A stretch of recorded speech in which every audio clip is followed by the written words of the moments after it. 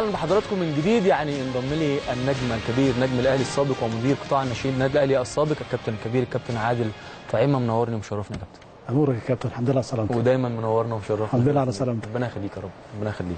عامل إيه الأول؟ زي الفل والله الحمد لله؟ زي الفل الحمد, الحمد لله. الحمد لله. عايز نبدأ منين؟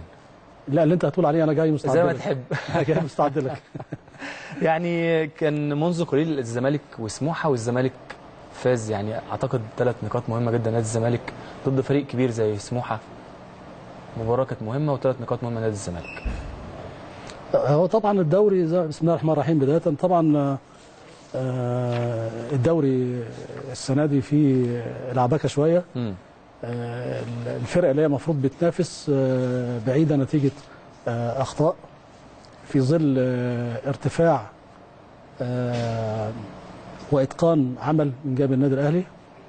ففي عملية منظمة في استقرار آه، على الأجهزة الفنية وعلى التشكيل وعلى التدوير وعلى بيقابلوا أندية منافسة. الأندية المنافسة آه، بتع- بتعاني نتيجة ال- ممكن يكون أحيانا بعض الأندية من ال- الإدارة امم من تغيير الأجهزة الفنية. امم فأعتقد الماتش آه، بيبقى ما بين تعادل وما بين 1-0 لأحد الفريقين وأعتقد ده اللي انتهى بيه اللقاء يعني. مم.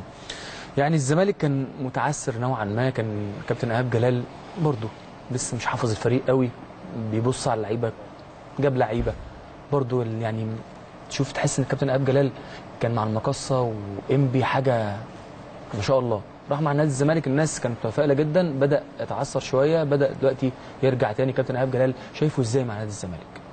والله أنا أنا قلت مرة واثنين وثلاثة الكابتن إيهاب جلال آه، ممكن هيبقى مدرب كويس مم. لأنه بيتمتع بشخصية هادية. آه، متزنة آه، بيفكر كويس مم. فإحنا مستعجلين عليه جدا في الإعلام ف هو هيبقى مدرب كويس قوي. بس يبقى فيه نوع من الصبر شوية. المسيرة بتاعت ال CV بتاعت أي مدرب بتحكم أنا موقعي إيه بالنسبة للتدريب فلما اكون أنا آه، دربت آه، تليفونات بني سويف آه، كهرباء إسماعيلية ثم المقصة ثلاث سنين. في المقصة الإدارة ال- الناجحة جدا جابت معظم العناصر من الأهلي ومن الزمالك وهتلاقي دايما الهدافين أصلا كانوا لعيبة في الأهلي جون أنطوي وأحمد الشيخ وهشام كلهم عناصر متربية في النادي الأهلي. مم. فأنا كمدرب لما اقعد ثلاث سنوات مع فريق. في استقرار مفيش طلبات مفيش معاناة مفيش ضغوط عليا. وبعدين في الآخر أنا أخدت مركز تاني. حاجة جميلة جدا. بالظبط. وحاجة لازم نحييه عليها. بالظبط. وقبل ما نحييه عليها نحيي الإدارة بالظبط. اللي معداه ثلاث سنين في كده. حاجة. مستعجل ع- طبعا عمل نتائج عمل آه، أسلوب كره كويس. بس برضه ما ننساش ما ننساش إن اللعيبة اللي موجودة لعيبة عالية جدا. الموقف ال- اللي هو قبله و...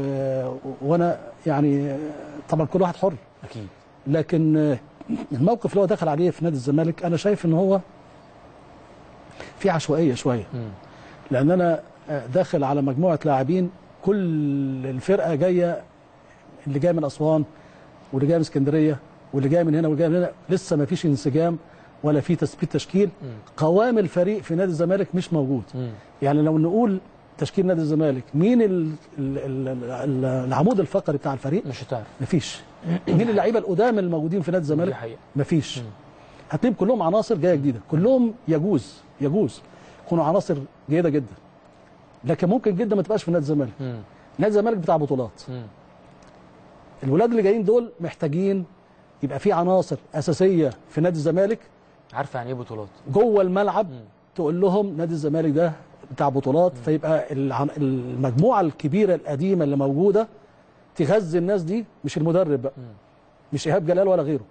الناس اللي هي موجودة بتقول لهم يا اخوانا لأ حتى أثناء المباراة بعد المباراة في التدريب في كل وقت تمام. يبقوا عارفين القوام ده شغال إزاي تمام الكلام ده أنا حتى لما بجيب تدعيمات تانية التدعيمات التانية برضه هتلاقي برضه في معاناة لأن مفيش انسجام مم. ومفيش ت- يعني النهارده خمس ست مباريات مفيش تشكيل ثابت. يعني أنا أنا. هسألك أنت راجل راجل بتاع كورة مش عارف راجل بتاع. كورة. قول لي مين back right نادي مش عارف أقول الزمالك؟ لك تشكيل بصراحة. مين back لاز- مين مين forward نادي الزمالك؟ هو حتى؟ جماهير جماهير الزمالك حتى نفسهم بيقولوا إن إحنا لسه مش عارفين. ما تعرفش. بالظبط. أنت في أي حتة في الدنيا لما أقول لك طب النادي الأهلي مين back right. هتقول لي فلان. معروف. back left. فلان وبديله فلان. third back فلان وفلان. مين راس حربة؟ في خلاف. وكذلك على مستوى حتى المنتخبات. تلاقي منتخب أسبانيا معروفين. آه، فريق ريال مدريد في خلاف عليه. كل الناس عارفاه وعارفين اللون بتاعه. نادي الزمالك بيعاني وكذلك نادي الإسماعيلي. آه، نتيجة إنه آه، يعني بيبقى في أخطاء أحيانا إدارية وفي ناس جاية في توقيت ما فيش دعم مادي.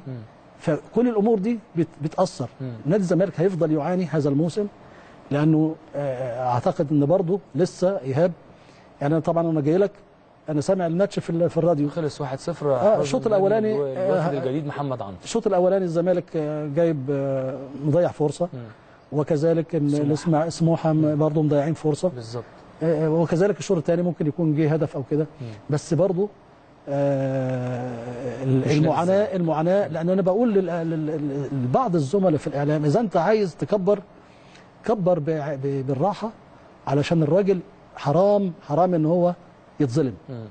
يعني قول الله يا مدرب كويس وإن شاء الله إحنا منتظرين منه المزيد لكن المدرب مش هو كل حاجة. لازم الإدارة وبعدين أنا أجيب لعيبة قبل الموسم. أنا هلعب بأني طريقة.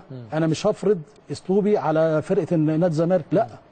أنا أشوف العجينة اللي قدامي إيه أو القماشة اللي قدامي إيه أو الأفراد وهلعب بيها إزاي؟ إنما أنا أحط فكري أحطه على اللعيبة إزاي؟ وأنا لازم يبقى العناصر اللي أنا هلعب بيها أبقى أنا مختارها وعارفها.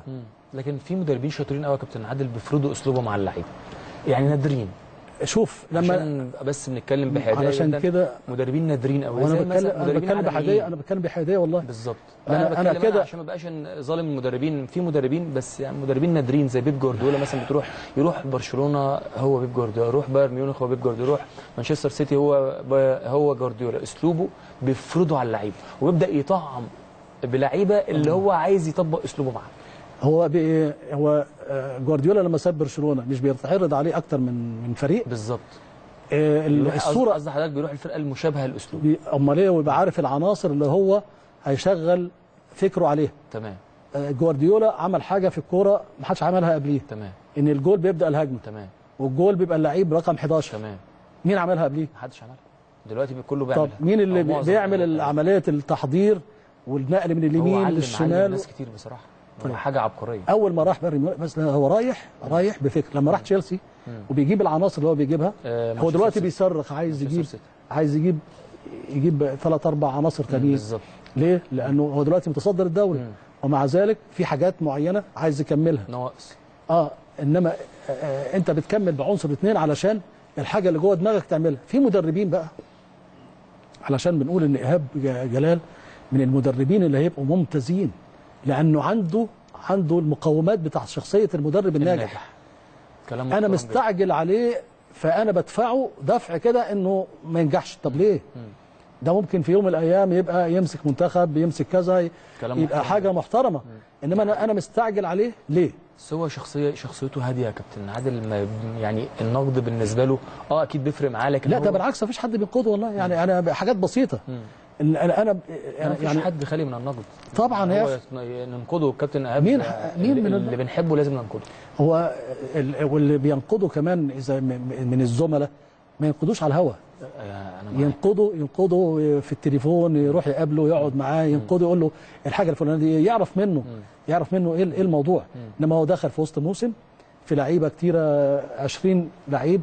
مفيش عمود فقري في, نادي الزمالك. آه، مطالب بنتائج مطالب ببطولات نادي الزمالك جمهوره هيفضل لحد إمتى بيتقبل إنه يبقى آه، بعيد بالشكل ده لا يعني نادي الزمالك عايز باستمرار بطولة كلام كلام محترم وكان لازم طبعا نسمع الكلام ده من الكابتن الكبير زي الكابتن عادل طعيمة اتكلم يعني بمنتهى الحياديه واتكلم بمنتهى الواقعيه كمان نستعرض نتائج الأسبوع ال 23 معاك كابتن عادل ولو حضرتك عايز تتكلم في حاجة الأهلي بس. في اتفضل. في مدربين بقى يعني في مدرب بيبقى بيجي له بيجي له اللعيب 50% 60% يفضل شغال معاه. مم.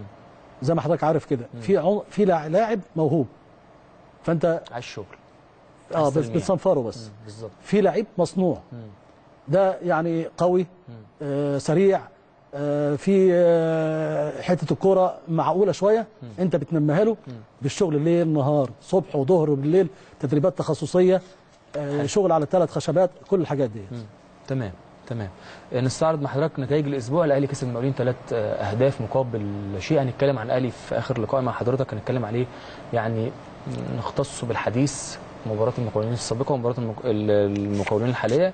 كان آه اللقاء مؤجل من الأسبوع السادس. أحرز الأهداف طبعا آه، بكماني وأحرز وليد أزارو وعبد الله السعيد ثلاث أهداف في منتهى الروعة. هنتكلم على اللقاءات الأهلي تحديدا في الآخر. الداخلية والإسماعيلي آه، مباراة إنتهت بالتعادل السلبي 0 0 طلعوا مدربين الإسماعيلي اشتكوا من ملعب الداخلية وقالوا إحنا نفسنا نلعب زي الأهلي والزمالك ما بيلعب. إحنا ملعب الداخلية ملعب ضيق قوي ملعب ما ينفعش نلعب عليه كورة ملعب صعب تلعب عليه كورة.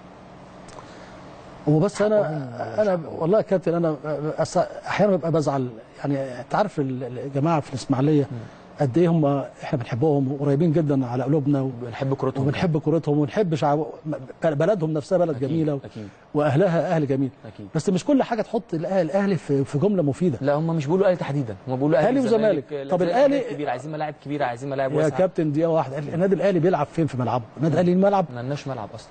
أنت النادي الأهلي كل ماتش بتروح تسافر اسكندرية برج العرب. بالظبط بالظبط. أنت السنة بقالك سنتين الولاد ما ب... ولادنا فرقتنا ما بيلعبوش في القاهرة. على عشان طول. ابقى نحدد الكلام كان سعفان الصغير طلع يتكلم في أحد الوسائل المسموعة إن الملعب يا جماعة عايزين نلعب زي الأهلي والزمالك في ملاعب بس كبيرة. لكن الزمالك ما بيلعبش مثلا في الداخلية الأهلي ما بيلعبش في ملعب الداخلية. فهو بيتكلم في كده إن الاسماعيلي فرقة كبيرة من حقها إنها تلعب في ملعب كبير. ما طب ما المصري ما بيلعبش في ملعبه. بالظبط. طب ما في أندية تانية فهي العملية إحنا كلنا لازم بنصبر لحد لما الجمهور يرجع إن شاء الله. فبلاش نشتكي. تمام. ودايما انت عارف لما بقول أنا بقى اشمعنى الاهلي والزمالك؟ ده بينعكس على الشارع في الإسماعيلية. إن هم حقهم مهضوم. وإنه يبقى فيه دايما في كره. يبقى في عصبية. وصل. لا. وصل. إحنا مش عايزين دي. وصل. عايزين الدوري يكمل. والإسماعيلي إن شاء الله ماشي مركز تاني أهو حاجة جميلة. ركز في فرقتك وركز في شغلك. الملعب ما كل الف... كل الأندية بتلعب عليه. ما كل الأندية بتروح تلعب في في الداخلية. و... و... طب ما ملعب الإسماعيلي زمان ما كان كان تقريبا كان كده. يعني كان كده الاسماعيليه زمان. كان الملعب كان كده. ف من حقه النوبي من حقه الملعب النوبي. آه من حقه طبعا إن هو عايز ملعب كبير وعايز كده لكن مش ده مش ده السبب. مش ده السبب اللي خليك اتعادلت. لا الداخلية كانوا آه، أقوى وأفضل وكانوا مسيطرين على المباراة وضاعت منهم فرص كتيرة جدا. بالرغم الإسماعيلي ضيع فرصة في آخر ثانية. وفرصة في جون، للإسماعيلي. حاجة- آه. ده بقى الفرصة دي لو جت كان هيشتكي من الملعب؟ خالص. ما كانش هيشتكي من الملعب. كلام مقنع بصراحة. يعني هي كلام. مقنع جدا. ما ما صعفان آه، إنسان عزيز علينا ده. حبيبنا سعفان ده حبيبنا. آه. كان حارس جميل كمان وحارس مميز قوي آه بصراحة. بس هو عصبي شوية. آه، هم الحراس كده. آه. مش عايز أقول أنا بيني وبينه بقى. آه، الرجاء في مفاجأة مدوية كسب إنبي بثلاثة أهداف نظيفة. الرجاء مع الكابتن رمضان السيد وإنبي مع الكابتن طارق عبد الله. والله أنا يعني؟ بحيي بحيي رب- بحيي بحيي رمضان تحية جامله من المدربين اللي أنا كنت بقول لك عليهم اللي هو لا يفقد الأمل خالص وعنده صبر. وعنده جلد وعنده روح قتالية باستمرار قوية جدا ولا ييأس. ويتغلب حاجة ويقوم. يتغلب ويقوم دخل في حاجة انتحارية هو أصلا داخل في. حاجة انتحارية طبعا فمع عدم أحيانا بيبقى أحيانا بيبقى في عدم تقدير شوية لأن برضه بيبقى في مجموعة كده مسيطرة على ال على الدو على الجدول يعني على الدوري. المدربين.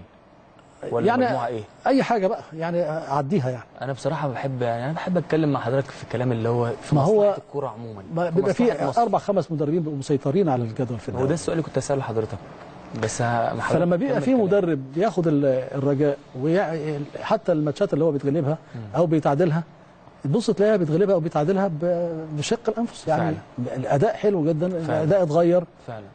يعني يعني يعني لو أنا بقى رئيس نادي الرجاء ليه ما جبتش أنا بقى كابتن رمضان السيد من أول ما صعدت.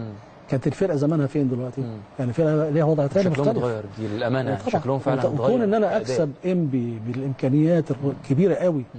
ثلاثة ده إعجاز. مم. إعجاز وإنجاز ولازم يعني نحييه على الجهد ده. وبرضه بنبقى بنحيي مجلس الإدارة إنه آه، قدر إن هو يعطر في مدير- فني كفء زي رمضان السيد. طب كابتن رمضان السيد يا يا كابتن عادل راجل كل ما بيروح نادي آه أنا بحبه. يعني أنا يعني مش هنكر أنا بحبه جدا بحبه ك... كإنسان. كمان حضرتك طبعا معاشره أنا بحبه كإنسان أطيب حد في الدنيا اتعاملت معاه. غير إن هو بقى مدرب كويس فعلا وأي نادي بيروحه بيعمل فيه لمسة. يعني كل راح بتروجيت عمل فيها طفرة. راح آه، الرجاء عمل فيها طفرة. كان عندنا في إنبي عمل فيها طفرة. برغم من كده مش واخد حقه. شايف دي يعني إيه السبب؟ السبب؟ هو فكر إداري آه، سمسره إيه السبب؟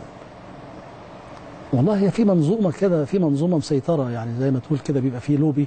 مسيطر إنه أي مدرب من اللي أنا قلت لك عليهم خمسة ستة دول مجرد ما هيمشي يبقى متسكن في الحتة ده اللي اللي جاية. بيجنني بصراحة. إنما أي حد بقى نوعية آه، رمضان ما فيش بقى صحوبية ما فيش ده ما فيش ده ما فيش حد بيسوق له. هو يعني ملوش في ده الحقيقة. الزملاء الزملاء كلهم محترمين وكل واحد من حقه إن هو يكافح. بس آه، ندي فرص بقى للناس اللي بس هتدي فرصة إزاي؟ أنا دايما بقول العيب في اللي بيختار. ما دايما بقول العيب في اللي بيختار. اهو كده اهو كده بقى أنا مش في العيب مش في المدرب العيب في اللي أنا اللي أنا بختار. وبختار آه، طب أنا أنا شايف ان فلان كفء بدون امكانيات. امال بقى في امكانيات هيعمل إيه؟ بالظبط. رمضان على فكرة كان كان هو مع... هو معانا على التليفون يا كابتن عادل؟ طيب تمام حضرتك بقى تمام رحب بيه. تمام. رحب بيه. يا رمضان. كابتن رمضان السيد المدير الفني نادي الرجاء أهلا بيك يا كابتن. وعشان تعرف يا حميد الكابتن عادل دربني في التصنيع. كابتن عادل لو انت بتتكلم دلوقتي على المدر- المدربين والمظلومين في مصر أول واحد فيهم الكابتن عادل طعيمة. كابتن عادل طعيمة يعني مدرب كبير جدا جدا جدا.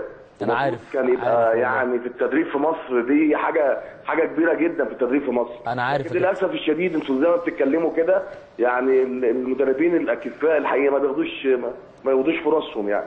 كابتن عادل مدربي وأخويا وحاجة أخ كبير- طبعا وأخ محترم ومن الشخصيات اللي أنا بحبها جدا جدا جدا يا عبد الحميد. وزي ما بقول لك بكرر لك تاني من المدربين الكبار جدا في مصر. الله يكرمك يا كابتن. أنا. أنا فرحتي بالماتش اللي فات ده يعني فرحة كبيرة قوي ربنا يخليك وكل ماتشاتك كل ماتشاتك. وأنت في البلدية وأنت في كل حتة أنا متابعك.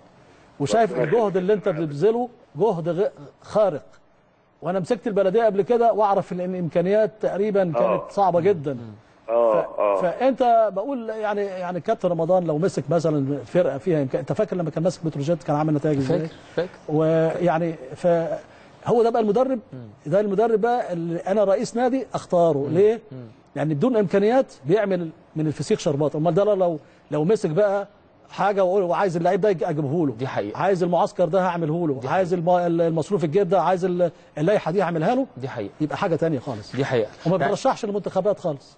ما هو للاسف خالص. إحنا اتكلمنا إحنا اتكلمنا بس مش عايز اقعد اتكلم عشان هو آه. دلوقتي حضر يعني معانا كابتن عادل فانا أنا ببارك لك كابتن رمضان على أنا ما أعرفش إن انت كنت هجيب والله. أنا أنا بتكلم وجه لوجه الله والله. أنا عارف يا كابتن. هو كابتن رمضان يستاهل بصراحة يعني.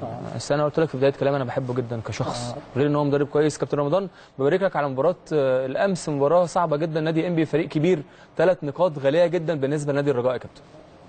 الله يبارك فيك يا عبد الحميد. يعني يمكن أنا أقول لك حاجة يا عبد الحميد. إحنا بقالنا سبع مباريات شغالين زي ما الكابتن عادل قال.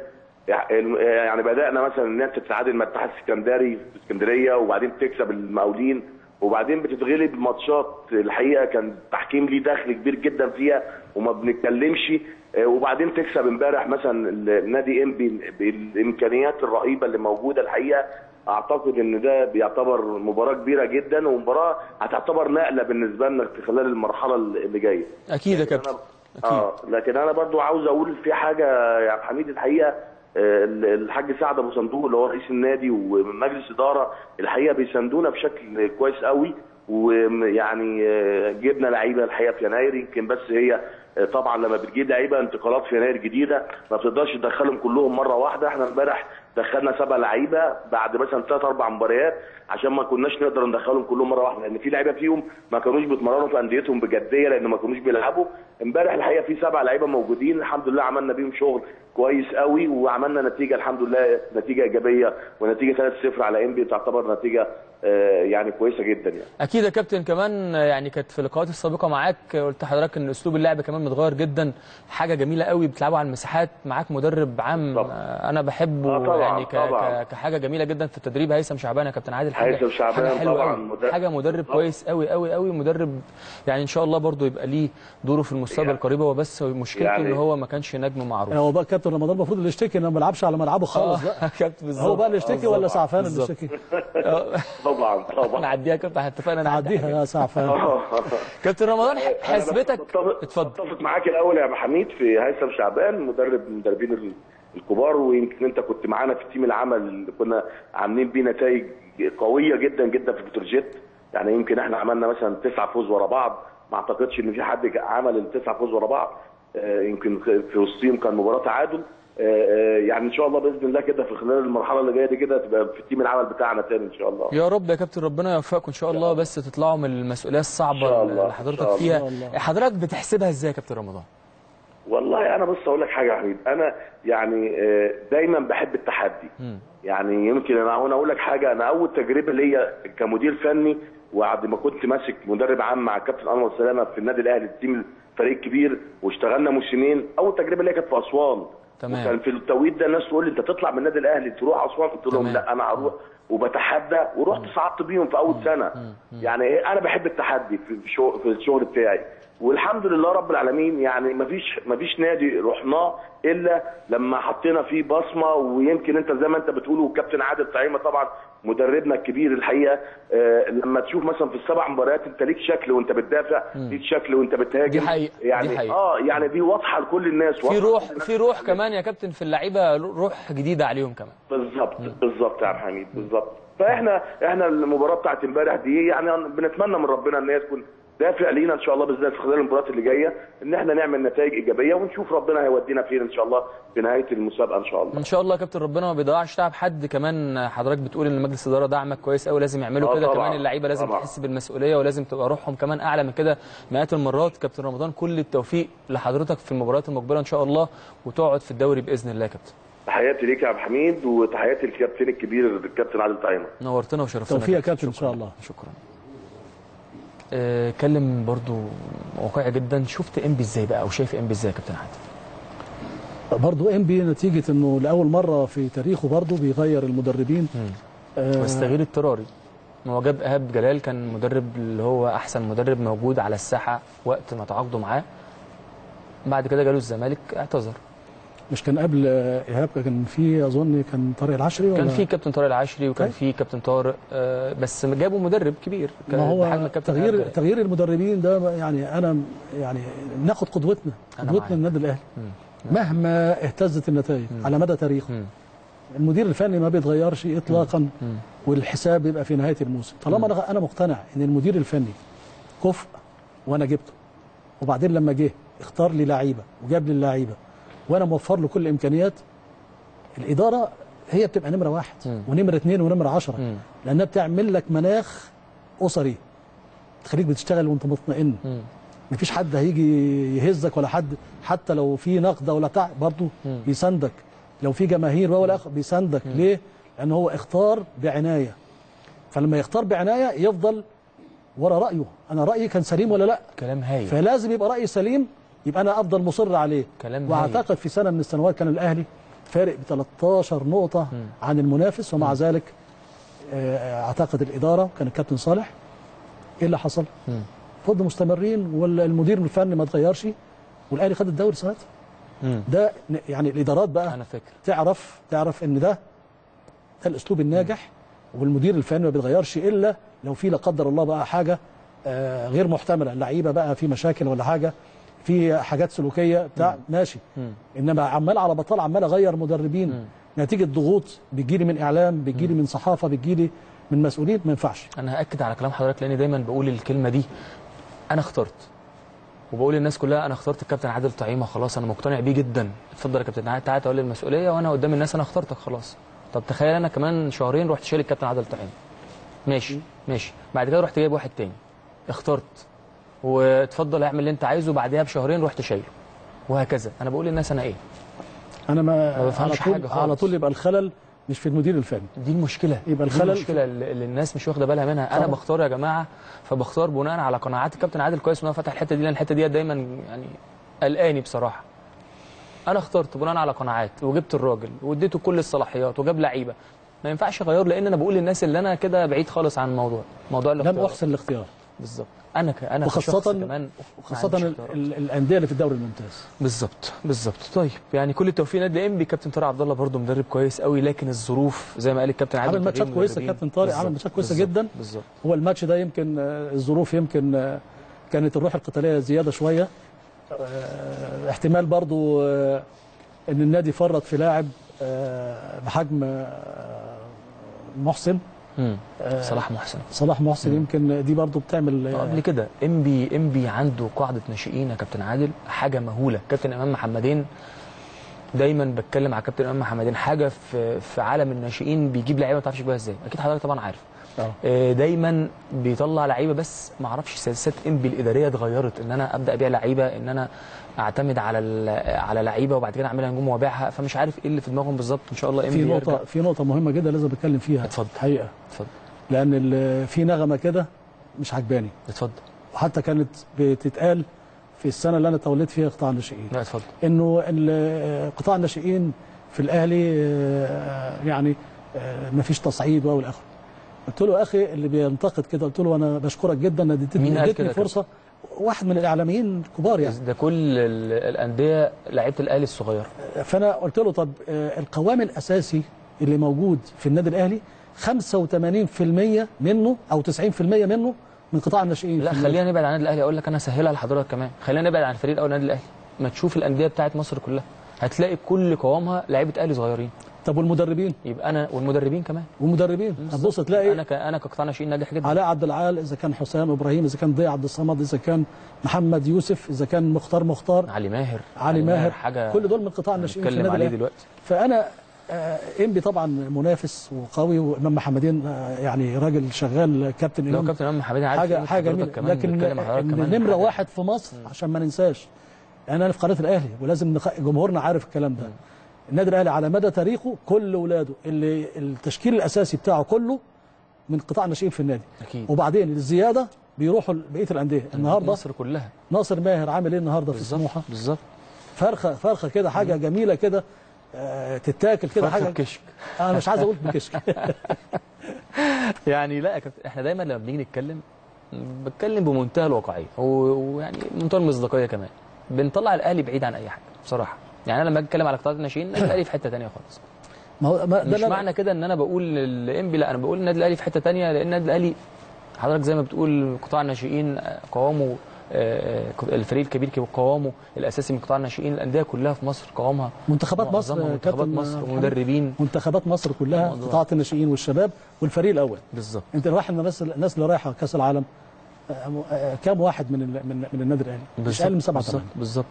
المباراة كانت مهمة جدا آه، يا كابتن. مباراة دجلة وبتروجيت كابتن طارق العاشر والكابتن طارق يحيى ودجلة يعني عايز آه. يمسك أي أشياء. وكان ثلاث نقاط صعبين جدا بس خدوها وادي دجلة يعني من بوق الأسد زي ما بيقولوا.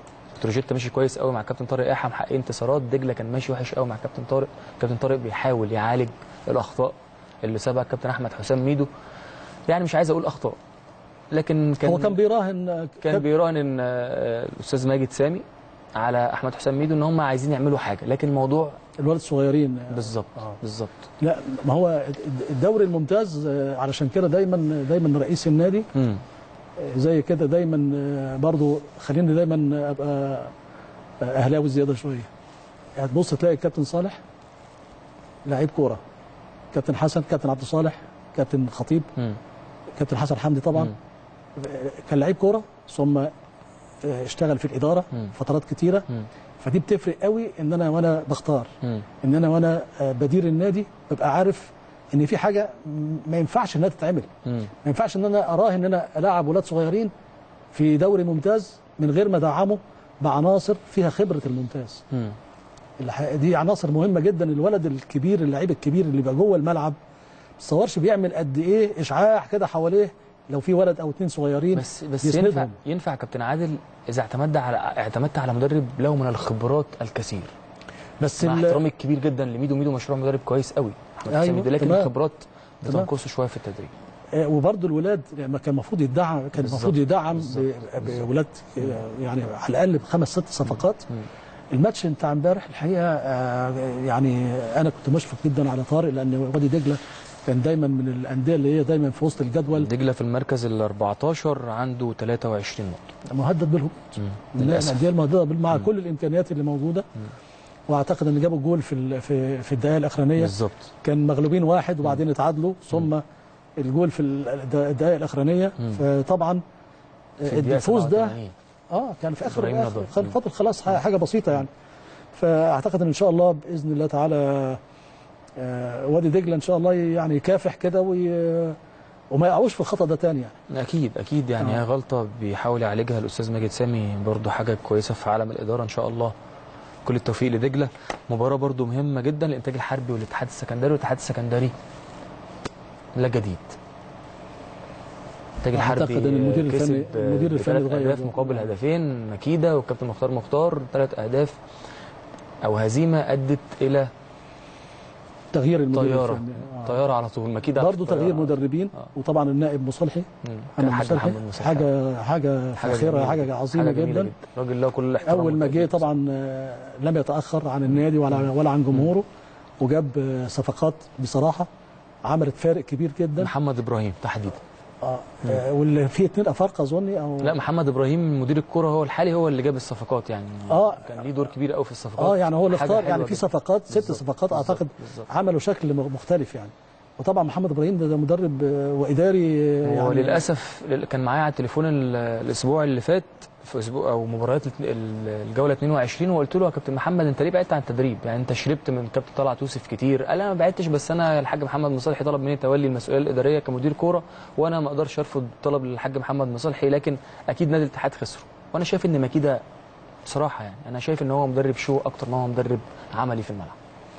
واضح إن امبارح آه، كابتن مختار امبارح عمل آه، جيم كبير قوي وكسبان 3-0 امم آه، وحتى أنا كنت متابع المباراة وبعدين حتى بعد نهاية المباراة آه، حسيت إن هو يعني في مرارة كده في في صوته لأنه كان ممكن جدا يتعادل. بعد ما كان كسبان 3-0 في نوع من الارتخاء شوية في نوع من الاستهتار شوية.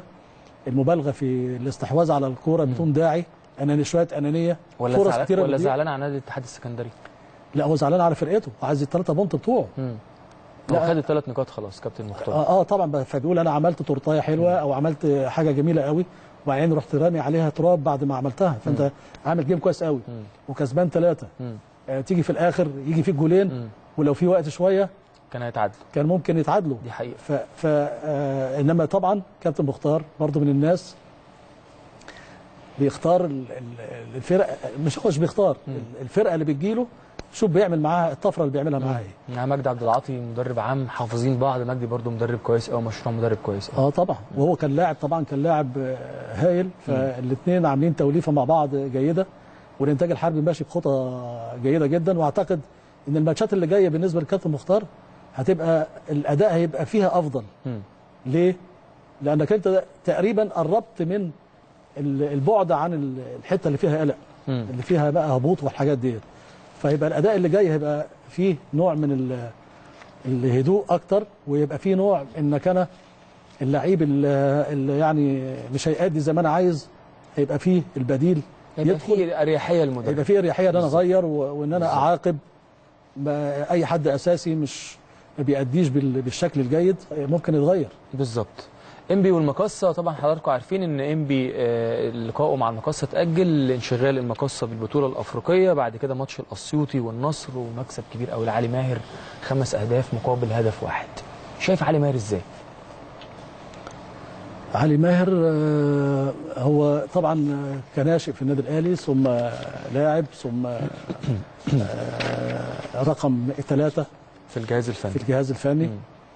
آه، المراقبة دي من بعيد آه، بتدي نوع من ال- الشخصية إن أنا وأنا بعيد ومش واخد مسؤوليات كبيرة إن أنا أشوف إيه اللي بيحصل إيه الإيجابيات واللي بتحصل في تيم النادي الأهلي وإيه اللي اللي أنا ممكن أخده استفاد. من كل مدرب. قصدك إن هو استفاد غير مدرب ثالث بيقعد بقى بيبقى قاعد بس آه، يتفرج. إن هو متفرج. إنما لا بيشوف وعارف. بيتعلم. وبيتعلم وبعدين بيطور نفسه. مم. كل البرامج أنا عارف كده كل البرامج التدريبية اللي موجودة بره هو بيطلع عليها. ومشترك معاها إيه ال- الحاجات اللي بتتحضر بالنسبة للتدريب بالنسبة لقراية المباريات والحاجات دي برضو عمل طفرة في الأسيوطي. الاسيوطي السنة دي غير السنة اللي فاتت. عمل طفرة. خالص. عمل طفرة كمان في شكل شكل الكورة. شكل الأداء مفيش تطفيش. خالص. بتلعب من حارس المرمى. آه بتتنقل مفيش تطفيش. حتى السردباك لما بيضغط عليه بيطلعها في مساحة مظبوطة. حقيقة. وبعدين تشوف الكثافة آه، الهجومية. لما يكون الكرة على الأطراف بتلاقي خمسة ستة مندفعين. حقيقي. وبعدين الحاجة الثانية الفتنس كويس قوي. أكيد في أحمال مم. بتتاخد بشكل جيد. البدلاء اللي موجودين معاه برضه بشكل آه، جيد. طبعا رئيس النادي ده راجل عايش في أوروبا والحاج الأسيوطي وعارف يعني إيه ال ال ال البرنامج اللي ممكن يتعمل. وبيبني في النادي كل ما هو متطور بالنسبة للاستشفاء. هتلاقي في جهاز معمول عندهم آه، للاستشفاء اللي كان مو- موجود في ألمانيا وموجود في ريال مدريد اللي انت بتخش فيه درجة البرودة معينة.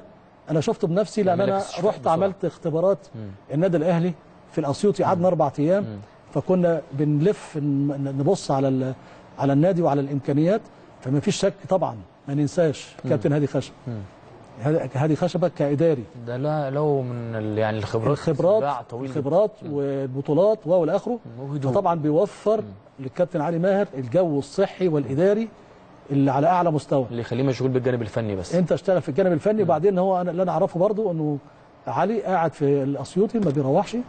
شغال عايز ينجح يا كابتن. صبح ودور. أمال إيه؟ عايز ينجح. السنة عايز دي- أنا موجود. السنة دي آه، هتخليه السنة الجاية إن شاء الله في يبقى في الأسيوطي ما مش هيسيبه. أو في نادي كبير. آه، ما يسيبوش دلوقتي. ما يسيبوش دلوقتي. لأن أنا أنا حطيت بصمة. الولاد حافظ- حافظيني. أنا حافظهم. ممكن السنة الجاية مستمر معاهم إن شاء الله لما يقعدوا في الممتاز. السنة الثالثه يشوف هتجيله حاجة تانية أحسن. إن شاء يعني ده الله رأي حضرتك إن طالما نجحت مع فريق حافظ حافظني. استنى سنة على الأقل. أنا هروح حتة تانية أنا مش عارف إيه اللي هيحصل. أنا ممكن جدا أقع في مجموعة ما تدينيش ال- ال- ال- الحاجة اللي ممكن تنجحني. يبقى أنا هبطت تاني. إنما أنا شغال أنا مع مجموعة وعملت قوام أساسي. هو ده اللي كنا. بنتكلم فيها يا كابتن عادل أنا وحضرتك دور المدرب إن هو يخلي فرقة شكلها حلو يفرض على الفرقة أسلوبه. شوف الولد بيحبوا بعض إزاي. بالظبط. لا كمان في بعض كمان؟ أنا لما بتكلم أنا لما علي بيجي لي على التليفون أقعد أتكلم معاه في الكورة أنا بستمتع بصراحة. بيقعد يكلمني في الكورة. هو فاهم. أحسن ما أكلم مدرب أوروبي. إن أنا أصل أنا ما احتجتش الاثنين defender ات. ساعات ماتشات آه، ليه أحط اثنين defender ات؟ بروح مطلع defender ومنزل واحد defender صانع ألعاب وأروح مش عارف مودي اللعب فين وأقفل مساحات فين. تحس إن أنت بتتكلم مع حد فاهم قوي. وأحيانا وحضرتك- بيلعب بثلاثة. وأحيانا بيلعب عارف ثلاثة إن أقل أقل لمسة في الدوري المصري أو أقل لمسة من مدرب فاهم شوية لو 10% حتى بيبان في الدوري المصري تحديدا أكيد لأنه لأنك أنت لما تكون عايز تنجح وبعدين ربنا بيبعت لك ال- المناخ والوقت والجو من رئيس نادي لمدير كورة لعناصر من اللعيبة. ما فيش منهم نجوم ما فيش حد عنده نجم. يعني كلهم آه، يعني معانا حبيبك كابتن مختار. يا. لا نجيب لك حبيبك كابتن مختار. كابتن مختار مختار مدير فني لنادي الإنتاج الحربي. منورنا يا كابتن. السلام عليكم. عليكم السلام ورحمة الله. وبركاته. كابتن عاد نعم. ان شاء الله يكون بخير. ازيك يا حبيبي؟ الله يخليك يا كابتن. الحمد لله رب ألف مبروك ألف مبروك. الله يكرمك. الله يخليك يا كابتن. يا كابتن مختار إزاي مستحمل مجدي عبد العاطي يا كابتن؟ آه والله. شوف أنت شفت أنت يعني عشرته قد إيه؟ يا كابتن مش أنا مش مصدق بصراحة. عشان تعرف الأمر صعب بالنسبة لي إزاي. والله يا كابتن حضرتك يعني حضرتك إن شاء الله رايح الجنة رايح الجنة بس كده أنت متأكد خلاص أنت رايح. لا كابتن. خلي بالك ده هو اللي هيوديك إن شاء الله. ربنا يخلي حضرتك والف مبروك على مباراة الأمس. كانت مباراة يعني صعبة جدا. كابتن عادل طعيمه بيقول تصريحات حضرتك بعد المباراة. كنت زعلان إن حضرتك جه فيك هدفين في آخر مباراة. نعم يعني ماشي ماشي في صالحنا بشكل كبير جدا وإحنا متسيدين الأمر وبعدين كسبنا ثلاثة وخلاص الفرقة طلعت من المباراة. آه، إحنا دخلناهم بشكل قوي جدا وبدون أي لازمة. وبعدين يعني اما تكسب ثلاثة غير لما تكسب ثلاثة اثنين وبعدين الجونين يجوا في- في الآخر بالشكل اللي هم جم فينا ده أكيد إن دي حاجة برضه بتزعل وأكيد إن هي برضه بتدل إن إحنا عندنا بعض اللعيبة ما عندهاش الخبرة الكافية. اللي تقدر آه، تسير بيها الأمر في صالحها كما يجب يعني أكيد لكن كابتن. الحمد لله زي ما يعني الكابتن عادل بيقول أو يعني طبيعي إن إحنا كسبنا وكسبنا مكسب كبير قوي وفرقة في منتهى الصعوبة وخلي بالك آه، بالظبط. كابتن بالظبط. إحنا إحنا ال- ال- ال- ال- المعطيات بتاعت المباراة قبليها صعبة جدا بالظبط يا كابتن الاتحاد في موقف صعب جدا دي حقيقة. فرقه وادي دجلة. آه كسبت الماتش اللي قبليه. وكلنا إحنا عرفنا وهم عرفوا. آه آه ال- الاتحاد عامل تعديلات هايلة جدا جدا مساعداه بشكل كبير قوي مم. فده أمر طبعا آه، أكيد إن دي كل دي معطيات قدامك وأنت بتشتغل عليها وبعدين ربنا سبحانه وتعالى ييسر لك الأمور ويسهل لك الأمر وإن أنت تكسب سكور وبعدين. تدخل الفرقة تاني في في الجيم زي ما يعني دخلوا كده أكيد إن دي حاجة صعبة وهي دي اللي كانت تزعل الواحد لكن أكيد إن هو مكسب كبير جدا يعني الحمد لله. أكيد يا كابتن يعني كابتن أسأل حضرتك سؤال حضرتك في المراكز اللي كانت قبل المركز السادس أكيد كان في قيود على حضرتك بت- بتفرض عليك تشكيل معين طريقة معينة حتى في الكلام آه، كلامي صح ولا آه، أيوه طب تصدق والله أنا امبارح المحاضرة اللي أنا قلتها ويمكن ممكن حد من اللعيبة هو سامعني أنا اتكلمت كلام مختلف خالص على اللي أنا كنت بتكلمه وحتى أنا قلت في كلامي إن إحنا هو آه يعني آه، أنا هتكلم في الكورة في إيه؟ مم. يعني الكلام اللي إحنا بنتكلم كوره على طول لكن في وقت في في وقت مع- معين لازم نتكلم فيه كلام مختلف خالص بالظبط وكان فعلا كلامي مختلف خالص مع. اللعيبة. يمكن أنا أول محاضرة أقولها بالشكل دوت. لكن طبعا أكيد الثقه برضه. قلت الخطوط ال- ال- ال- العريضة اللي إحنا بنلعب بيها يعني آه، لازم نلتزم بيها ونشتغل بيها. أكيد. لكن كمان زودت في حتة الفنيات بشكل كويس قوي. مم. والحمد لله الاولاد استجابوا امبارح هايل جدا مم. وكان ليها دور آه، يعني إيجابي بشكل كبير جدا يعني. والحمد لله إن أنت طلعت 3 point وخلي بالك ال- الدوري صعب قوي جدا. ال point بيفرق فيه. أكيد يا دايماً. أنا أقولها لهم حتى ما بالك بثلاثة point؟ الثلاثه point بيدوك نقلة بعيدة خالص عن أي حد. وبعدين إحنا إحنا بالظبط خمس ست فرق كلنا قريبين من بعض. أكيد. اللي بياخد 3 point بي بي بي بينقل نفسه نقلة كبيرة جدا. فما بالك بقى لو أنت خدت كمان ماتشين ثلاثة ورا بعض. بالظبط. أكيد إن ده أمر هايل جدا. وبعدين آه، آه، آه، يعني المنافسة شديدة جدا. حتى اللي تحت اللي تحت جاي لك بشكل قوي جدا. أكيد ده أصعب فرق يا كابتن. أصعب فرق بالنسبة لي. أنا يعني طبعا دايما آه، الجهاز الفني في النادي الاهلي يقول إن الأمر صعب إن لا ما اتحسبش الدوري ولا ولا. لكن أنا بقول لك الدوري اتحسب بس دي- ده أنا بقولها بس كده يعني. لكن إحنا بقى تحت مفيش حاجة اتحسمت مفيش. حاجة اتحسمت خالص ال- ال- المنافسة بقت تحت. يعني أشرس بكتير جدا من المنافسة فوق. دي حقيقة. المنافسة فوق. أنا من وجهة نظري إن هي يعني آه، يعني مضمونة 100% للنادي الأهلي. دي حقيقة يا كابتن. يعني برضه يا كابتن مختار سؤالي لحضرتك إمتى الكابتن مختار مختار هيقول أنا هنافس بالإنتاج الحربي على صدارة الدوري الممتاز؟ لما أجيب لعيب بثمن واحد من اللي جابوا أهلي أو زمالك امم هو كده؟ يعني إمكانيات مادية يا كابتن يعني مختار؟ طبعا طبعا. أمال إيه؟ يعني آه، أنت عندك لعيب آه، أهلي جايبه أهلي وواحد جايبه زمالك. آه، ب- الميزانية بتاعتنا قريب من الميزانية بتاعتنا كلها. طب حضرتك كان كان عند حضرتك عمر السعيد لعيب كويس قوي قوي قوي؟ أنا استغربت بصراحة لما شفته مشي من الإنتاج. أقول لك حاجة. اتفضل. يعني آه، يعني يا رب أقدر أقنعك. اتفضل. لا اقتنع بكلام حضرتك طبعا. ده- السنة ديت آخر سنة بالظبط الدوري هيخلص في شهر خمسة مم. أو نص خمسة. امم آه، آه، من- من دلوقتي لغاية نص خمسة بالظبط ثلاث شهور. امم يعني ثلاث شهور بعديها عمر هيروح في أي حتة ببلاش. لا أنا فهمت كلام حضرتك. هنا فرصة إن أنا أبيعه وآخد فيه 2 مليون وبعدين في العقد اللي إحنا عملناه إن هو لو راح أي فرقة من بعد وادي دجلة آخد منه 3 30% هل الأمر ده ما يخلينيش خصوصا إن هي بقت كلها بيزنس لا كلام حضرتك صحيح. فينفع إن أنا أستنى عليه شهرين ثلاثة وبعدين خلي بالك برضه. الحمد لله ال ال ال ال ال ال اللي إحنا عملناه واللعيبة اللي إحنا جبناها في في في شهر واحد أكيد إن شاء الله تقدر تعوضنا شوية يا عمر. وده أك- أمر طبعا ما دام أنت هتسيب لازم برضه تفكر في اللي يجي لك أكيد أكيد يا كابتن. وده السؤال اللي كنت أسأله حضرتك خالد قمر تحديدا عوض كتير قوي من عمر السعيد وحضرتك قلت له إيه عشان يرجع لخالد قمر كده؟ لا ما هو خالد قمر ما رجعش معايا دلوقتي. خالد قمر رجع معايا السنة اللي فاتت. تمام. السنة اللي فاتت وأنا في الاتحاد الاسكندري تمام. يمكن أول تجربة لخالد قمر معايا. تمام. آه، خالد قمر ما كانش يعرفني وأنا- وأنا يعني أعرفه كلاعب كورة. خالد قمر لما اشتغل معايا الحمد لله يعني إيه حتى أنا في أول ما جه كلمته كلام هو زعل منه في شوية. لكن بعد كده حس إن الكلام دوت كان بالنسبة له هايل جدا جدا لأن أنا يعني إيه أنا عارف طبعا خالد قمر وعارف إمكانياته. إحنا جينا في نص السنة السنة اللي فاتت نادي الزمالك آه، طلبه بشكل قوي جدا جدا وكان في مشكلة كبيرة جدا ما بين الناديين. خالد قمر يرجع ليه؟ لأن خالد قمر كان قبل ما يجي لي على طول بقاله سنة ما بيلعبش كورة. تمام. لكن الحمد لله الشغل اللي إحنا اشتغلناه معاه مع الصبر اللي أنا صبرته عليه واللي أنا كنت بقوله له واللي هو كانش مصدقه الحمد لله قدر يعمل لنفسه موسم هايل جدا السنة اللي فاتت. وديت اللي خلت الأمر بالنسبة لي دلوقتي السنة دي أنا بقيت فاهم خالد وخالد بقى خلاص ال ال الأمر بالنسبة ال- بالنسبة له بالنسبة له معانا بقى في حاجة يعني فيها تفاهم. أكيد يا كابتن. لا إن لما جه خلي بالك خالد جاله عروض كتيرة قوي. ما وافقش بأي حد. أكيد. مصمم علينا وإحنا أكيد. كنا مصممين عليه أكيد. الحمد لله أكيد إن هو أتمنى إن شاء الله ان, إن هو يوفق معانا ونرجع خالد قمر زي ما كان خالد قمر اللي, اللي الناس كلها كانت عارفة كابتن مختار كل التوفيق لحضرتك وإن شاء الله نشوف الإنتاج الحربي معاك في مكان تاني خالص إن شاء الله نشوفك بتنافس. على الدوري كابتن مختار مختار مدير فني. الإنتاج. الحربي شكرا جدا لحضرتك بجيب لك ناس بتحبها يا كابتن. إيه؟ بجيب لك الناس اللي بتحبها.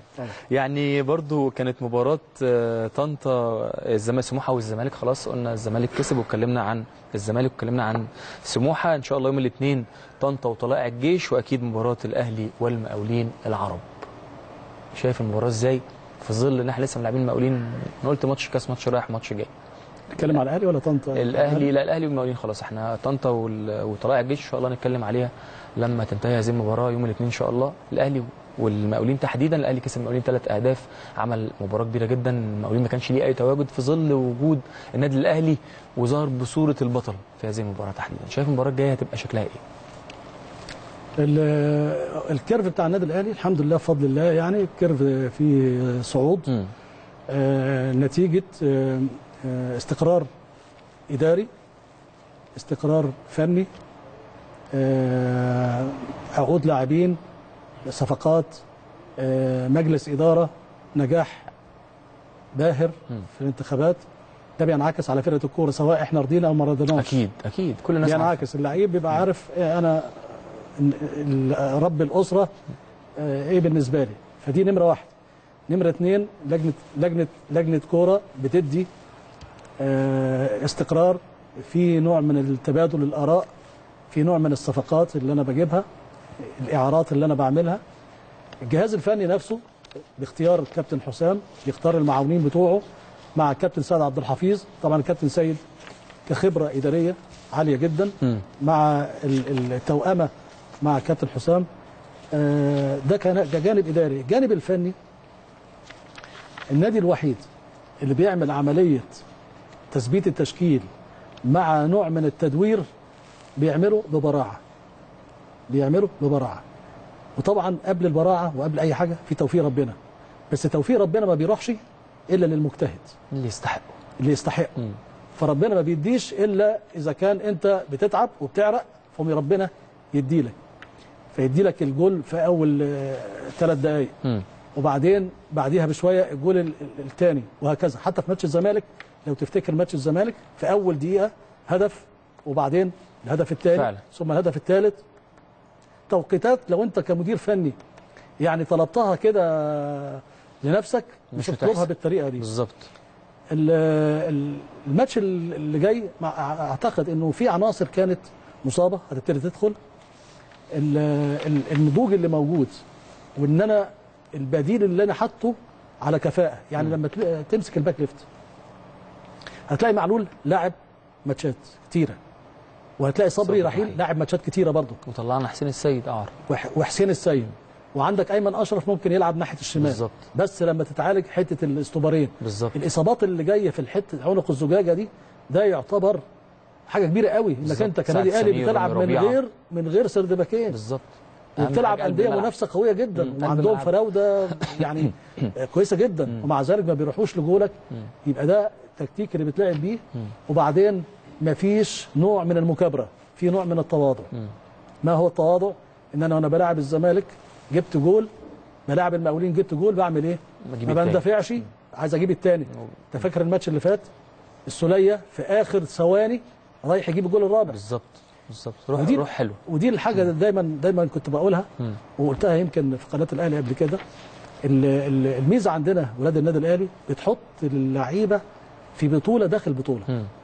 انت هتاخد بطولة الدوري. لازم تاخد بطولة تانية. إيه هي؟ يجي فيك اهداف قليلة قوي. وتجيب اهداف كتير قوي. مم. وما تتغلبش. وتمتع الناس بالأداء بالجمل. مم. ويبقى الناس مستمتعة بنتيجه وبأداء. مش زي الناس اللي تطلع تقول لك مش مش مهم الأداء إزاي مش مهم الأداء؟ إذا ما كانش في أداء مش هيبقى في نتيجة. يبقى في يعني عشوائية. مباريات قليلة قوي اللي ما بنحتاجش فيها أداء عشان نبقى برضو تحديدا لا لا, منصفين. لا أنا مختلف تماما على الكلام ده. تمام. الكلام ده أنا لا لا أقتنع بيه. لازم يبقى في أداء. الكورة يا كابتن الكورة يا كابتن زي ما أنت بتشوف كده في الفرق الكبيرة. آه، أنت شفت برشلونة الماتش الأخراني؟ بيلعب مع مع. فينيسيا. آه. شفت بيلعبوا كورة إزاي؟ في ملعب فينيسيا؟ بس برشلونة دي وضرب وضرب كرة لا ما هي دي. ما هو ده ما هو ده. آه، آه، برشلونة وريال مدريد بينافسوك في البطولات. على المستوى القارات. فأنت كمان الجهاز الفني بتاعنا بيشتغل كده. ما. ينفعش يا كابتن إن أنا الجول بتاعي يكون بي- بيشلت ويلعب الكورة أي كلام. لا بتبدأ هجمتك من تحت. آه، بقى أيمن أشرف بياخد الكورة بينقلها يروح على الطرف الشمال. سعد سمير إذا كان نجيب إذا كان فتحي إذا كان باسم إذا كان هاني. كل واحد عارف إن في أربع خمس جمل عشر جمل كابتن بيحفظها لهم. تمام. هتوصل للجول إزاي؟ ممكن بالكرة عشوائية وأجيب جول ما يبقاش النادي الأهلي. أبقى أي فرقة تانية. لازم يبقى في أداء. ما ينفعش ما يبقاش في أداء وأقول أنا هجيب نتيجة. أجيب نتيجة إزاي؟ الفرقة قدامك بتدافع وقافله وقافلة المنطقة قدام جول هجيب جول إزاي؟ إذا ما كانش في فكر وفي أداء ما ينفعش أجيب مكسب. ممكن يبقى ده استثناء. حاجة وطبعا إحنا ما نتعاملش في النادي الأهلي بالاستثناء. أكيد. استحالة. أكيد. فطبعا الماتش اللي جاي ال curve اللي طالع بإذن الله تعالى هيفضل مستمر. وحتى بإذن الله تعالى لما النادي الاهلي ياخد بطولة الدوري هيفضل الاداء برضه على نفس المنوال لأن النادي الأهلي جماهيره ال 80 90 مليون دول يعني ما أعتقدش ابدا هيقبلوا إن النادي الأهلي ياخد بطولة من غير ما يكون بي- بيمتعهم زي الماتشات اللي فاتت كلها. في أكيد. متعة. أكيد. آه، وفي ثنائيات وفي جمل وفي أهداف بتضيع. كل الكلام ده آه، منتظرينه مع حالة الصعود وحالة الاستقرار اللي موجودة. ودي كلها حاجات بنحيي الجهاز وبنحيي الإدارة وكل اللعيبة طبعا لعيبة كلهم رجالة في قوام أساسي للفرقة هتلاقي فتحي هتلاقي آه، شريف هتلاقي الشناوي هتلاقي آه، سا- سا- آه، حسام هتلاقي آه، الفراوده كان عمرو كان مروان آه، كان مؤمن كان آه، شيخ. كان هشام كان يعني بالظبط. العناصر دي لما أي ولد صغير يطلع يلعب جنبهم اطمن اطمن بالظبط. إسلام محارب. كلهم ولاد النادي الأهلي. يعني يا كابتن عادل للأسف وقتي خلص مع حضرتك لكن أنا عايز أسألك سؤال مهم جدا من وجهة نظر حضرتك شايف الشناوي إزاي؟ وهل إن حضرتك في اتجاه إن الحارس لازم يلعب لغاية لما الجهاز الفني يشوف انه لازم تغييره ولا مباراة مباراة؟ أنا يا أخي معجب قوي جماعة جماعة بتوع برشلونة معجب بيهم جدا. مم. أنت وصلت للفاينل لل semi-final أو لل- للدور قبل النهائي وهتلعب النهائي. مين الجول اللي بيلعب. الجول اللي بيلعب نمرة اثنين. فهم بيتعاقدوا في العقد بيقولوا له انت ماتشات الكاس بتاعتك. بالظبط. امبارح شايل جول ما حدش يشيله. مم. في توقيت خطر جدا. مم. فممكن هي مدارس يا كابتن. في ممكن يبقى أنا أنا عندي جول أساسي وعندي جول نمرة اثنين واسيبها كده. لما يعني يتعور ما ما أداش بتاع حصل دروب ولا حاجة آه، نمرة اثنين ممكن يلعب. إنما في ماتشات في ماتشات لما تخش بقى تخش في أفريقيا وكأس عالم وخلافه لازم الجول الخبرة اللي عنده خبرات هو اللي لازم يبقى موجود.